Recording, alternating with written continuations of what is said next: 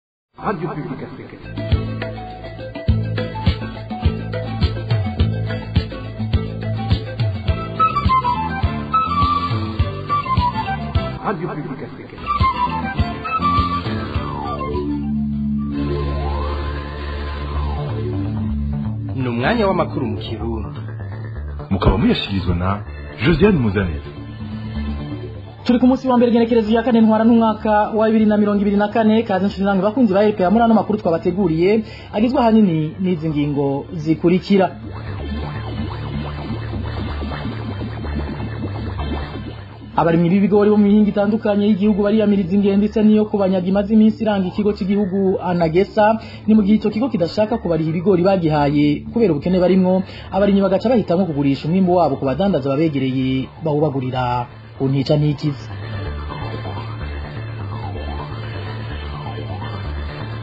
ababuza ko imitumba bagiriza leta kuba yabajeje amananiza ni mu gihe yabatereranye ubu bakaba batagira ibikoresho be naho bakorera muraza kubikurikira murano makuru murano makuru turaza no kubabwira imyidogo y’ababyeyi barereye ku ishure shingiro ryo mu gihinga ni muri commune Kanyosha y'intara ya Bujumbura biturutse ku bana babo bateshwe ivyigwa bakajyanwa guseha ibikoresho byo kubaka yana yandi ni mu kanyisase ndabaramutse nongere ndabahe n'ikaze mwidonidi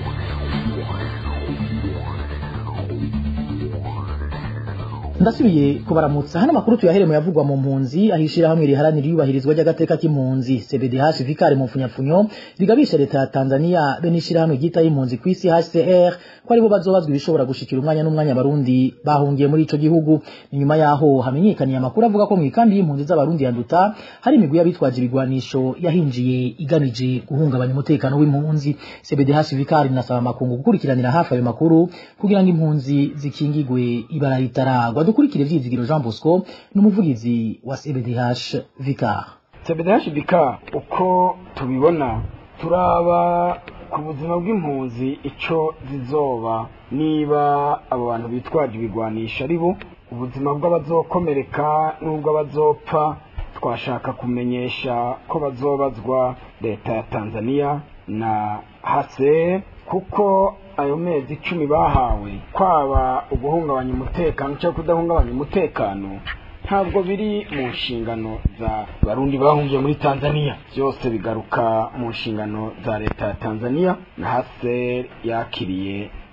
ibikorwa byo gukurikirana ku munsi ku munsi ubuzima bw'izo mpunzi rero niba amakuru dufise ariyo twashaka gusaba amakungu n'ishyirahamwe hase gukurikiranira hafi ayo makuru kugira ngo bakumire ibara ritararwa kandi twashaka gusubira ku bitaro leta tanzania nimba iri kwakira impunzi kandi hari ziri yo zimaze guhabwa amezi cumi kugira ngo zibe zavuye muri icyo gihugu two kwibaza ibibazo byinshi ariko tunatanafitiye n'inyishu inyishu twasaba gukurikiranira hafi twese nk'amashyirahamwe ashinzwe abataye akazina muntu nk'ishyirahamwe hase yewe n'ibihugu byo muri aka karere mu bijyanye n'agatakazi na muntu naho n'umunezero ntangire mu muryango inshuti n'abagenzi b'umupfasoni ntiyubahwe Florence uyu murundikazi yari yagiye gukorera mu gihugu ca Arabia Saudite kuva muri munyonyo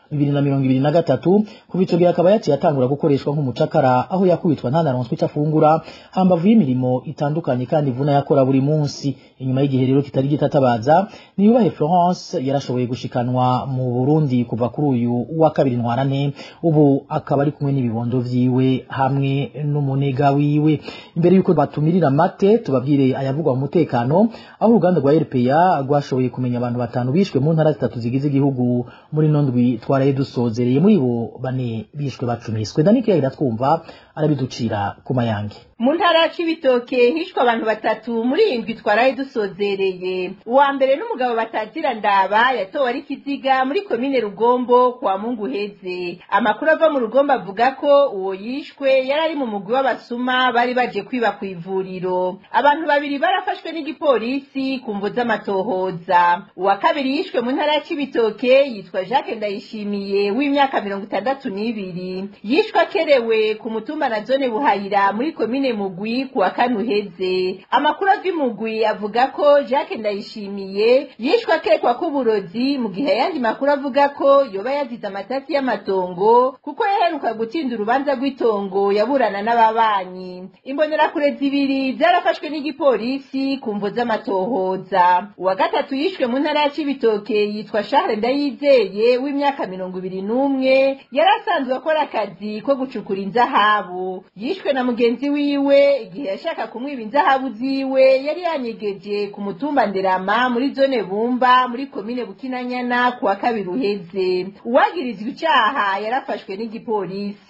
ku wa gatandatu uheze umuntu batazira njonjo yarishwe arashwe n'abantu batashoboye kumenyekana ku mutumba gihungwe muri komine gihanga mu ntara ya bubanza abajejwe intwaro baremeje ayo makuru bavuga ko amatohoza yatanguye uwa nyuma uruganda rwa efuperi rwashoboye kumenya ko yishwe ni uwo mu ntara ya rutana ni ikiziga cy'umuntu w'umugabo cyatowe mu ruzi musatsa ku mutumba bugiga muri komine bukemba ku wa gatanu uheze amakuru ava muri komine bukemba avuga ko icyo kiziga cyari gifite ibikomere kandi cyari kimaze kononekara abajejwe intwaro muri komine bukemba baciye batanga itegeko ryo kugihambisha hatabaye amatohoza efuperi eh, ni yabwiye mu ncamake y'ano makuru abahuza bo ku mitumba baridogera leta ko itakibashigikira mu bikorwa yabashinze cyo gutunganiriza abanyagihugu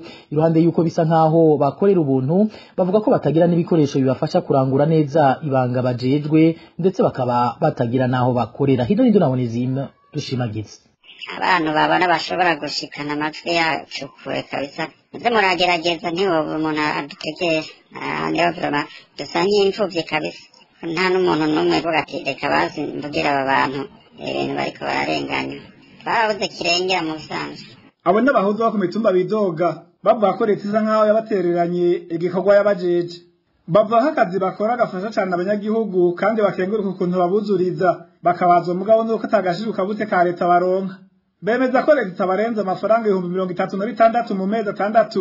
bisigura ko bahabwa amafaranga atarenga ibihumbi bitandatu ku kwezi nk'uko umwe muri bo abyigana turababaye turarushye niba turi ko turakora bagaca batubwira ngo duhameze atandatu batwemereye ngo baduha ibihumbi mirongo ine na bitanu ku muperezida na visi na sekereteri hama abahuza basanzwe nabo bagaca babaha ibihumbi mirongo n'ine hanyuma bagaca baduha ibihumbi mirongo itatu na bitandatu ku mezi atandatu rero twagiye duharuye twagiye dusanga ku kwezi ukora amafaranga ibihumbi bitanu uretse kutarozwa agaciro ukabutse abo bahuza bavuga ko batagira n'ibikoresho bibafasha kurangura neza ibanga bajejwe aha bakavuga kutaronka aho bakorera na cyane cyane ko mu gihe cy'imvura badasubira gufasha ababitura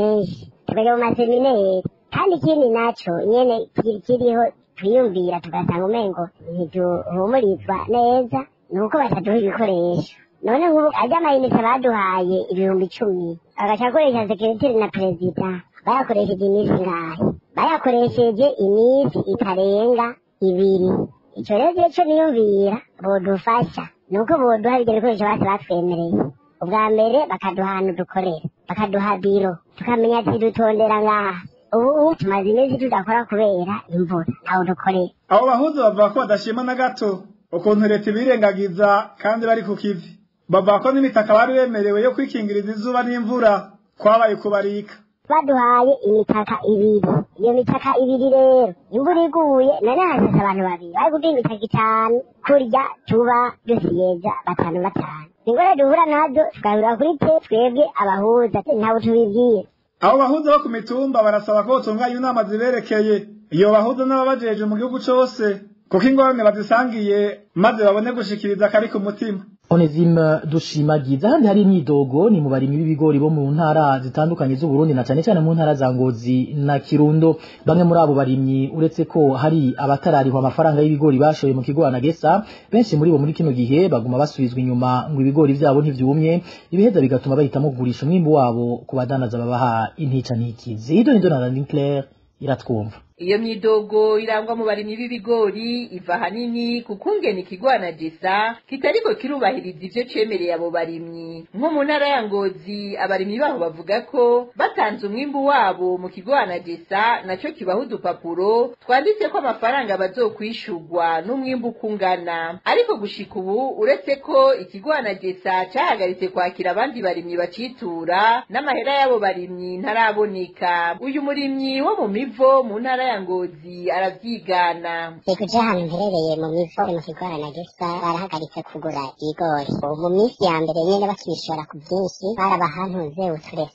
bagakoresha icyuma cyabo bakababwira ngo ntibyumye sirakwanikira benshi bakabisubiza inyuma kandi abarangura baca babahagufi bagaca bibagurira ku mahera make bagaca bigurisha aho nyene ngabo rero mu nyuma bahavuye barahagarika kugura bo bavuze yuko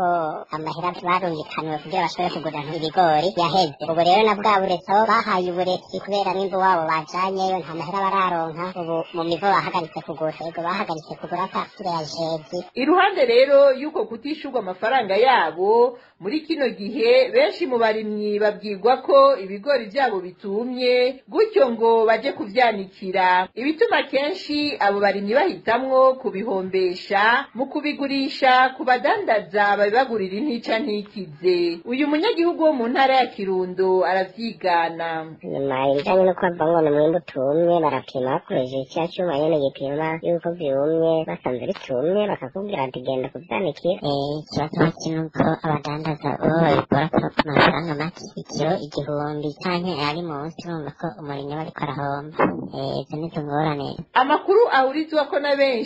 muri abo barimi b'ibigori ni uko abo badandaza babagurira ibyo bigori bobo bakorana n'ikigo anagesa kuko bahejeje bahejeje guha intica ntikiza abo barimyi baheza bakajya kubigurisha mu kigwana gisa nyene nayo ku bijyanye no guheranira abo barimyi amafaranga yabo joseph nduwimana arongoye ikigwana gisa yari yasezeraniye abo barimyi ko kuva ku munsi wa kane uheze bari guhabwa amafaranga yabo ibitigeze bijya mu ngiro kugeza n'uyu munsi arakoze dani claire iratwumva mu gisagara ca bujumbura naho abadandaza b'ibi bifungurwa nkenerwa ngo barahagaritswa umutima n'uko ibiciro biguma biduga mu gihe abanyagihugu gihugu badafise uburyo bwo kubigura abo badandaza bamenyesha yuko zimwe mu mva ari uko bitatoroshe kuja kurangura izo bifungurwa hagati mu gihugu hamwe rero n'amahera y'agaciro Kenya bagasaba leta kuraba uko yotora umuti w'iyongorane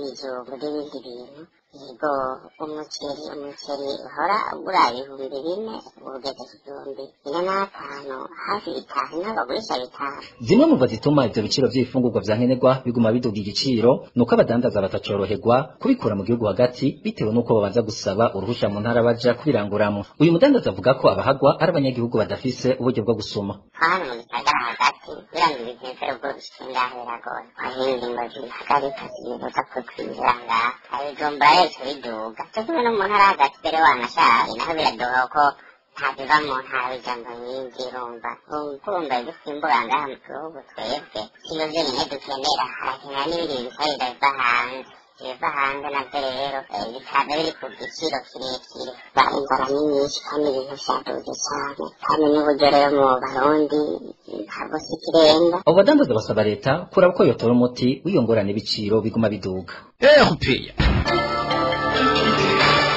dutandukire ubu naho yavugwa mu ndera aho abavyeyi barereye ku ishure shingiro ryo mu gihinga zone kiyenzi komine kanyosha y'intara ya bujumbura biyamiriza ingendo yo kwaka uburenganzira bwo kwiga abana babo bakajyanwa gukoreshwa ibikorwa bibavuna ni mu gihe kuri uyu wa mbere abanyeshuri biga kuri iryo shure bateshejwe ibyigwa bajyanwa kwikorera isima bayikura muri quartier kajiji yo muri zone kanyosha mu gisagara cya bujumbura ni nkuru tubaza Elvis Niyomwungere abo bana bahohotewe n'abarezi babo nabo ku ishuri ritoya rya Gihinga muri zone Kiyenzi komine Kanyosha intara ya Bujumbura umwana umwe umwe akaba yakubitirwa kwikorera hagati y'ibiro cumi na cumi na bitanu vy'isima abavyeyi bakaba biyamirije cane iyo ngendo y'abarezi bo kuri iryo shure aho ubumenya abana babo barungitswe kwiga bagacinyabuna babakoresha ibikorwa vy'inguvu kandi binyuranye n'amategeko uyu n'umwe mu bavyeyi yaganiriye na Elpeya abo bana bagenetse kwikorezwa ibyo bintu mu gihe ndetse ari mu gihe cyari mu gihe cy'umwanya w'ibyigwa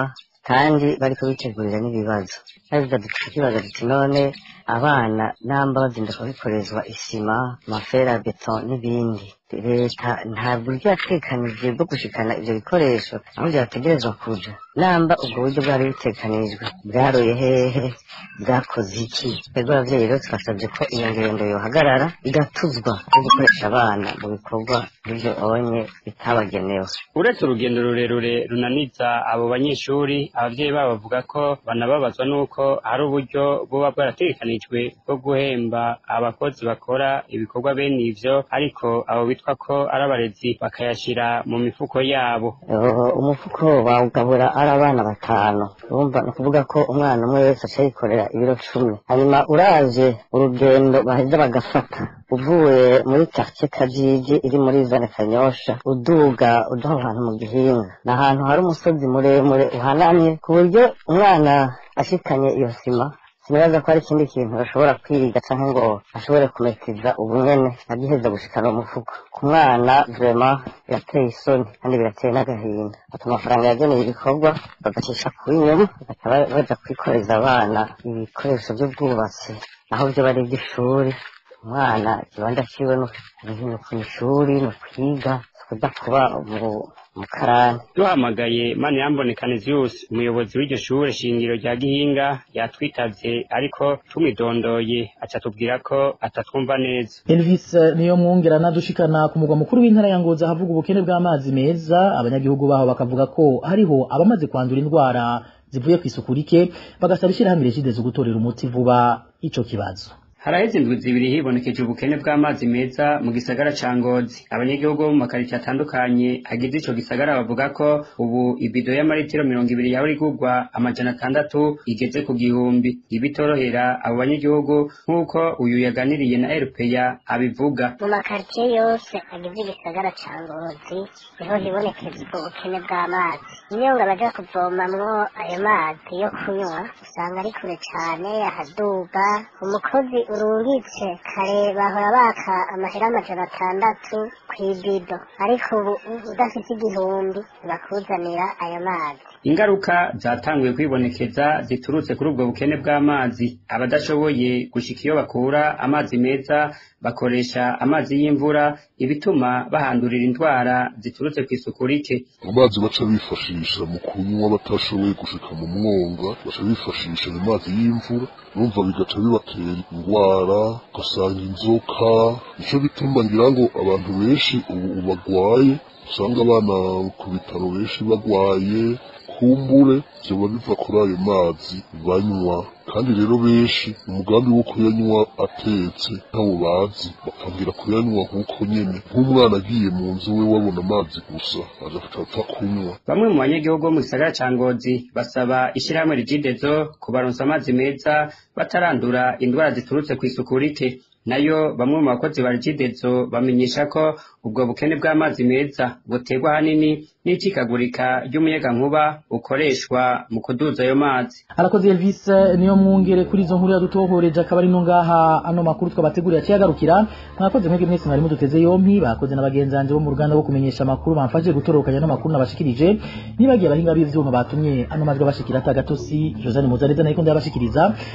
ndabikebanuye ndabipfuriza kuroranirwa mu banyi no mu vyanyu imana ibandanye irinde Burundi n'abarundi 闹大。